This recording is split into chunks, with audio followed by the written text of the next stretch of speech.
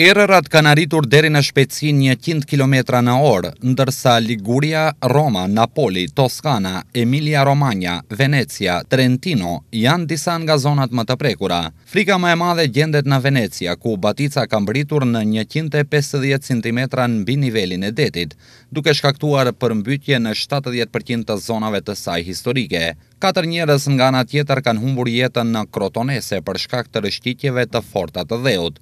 Dy të rinj gjithashtu kanë humbur jetën në Ciociara, pasi një pishë ka rënë mbi makinën e tyre.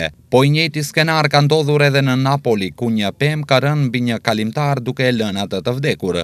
Për shkak të motit të keq, deri tani janë pezulluar të gjitha linjat detare dhe ajrore nga Shqipëria në Itali dhe anasjelltas.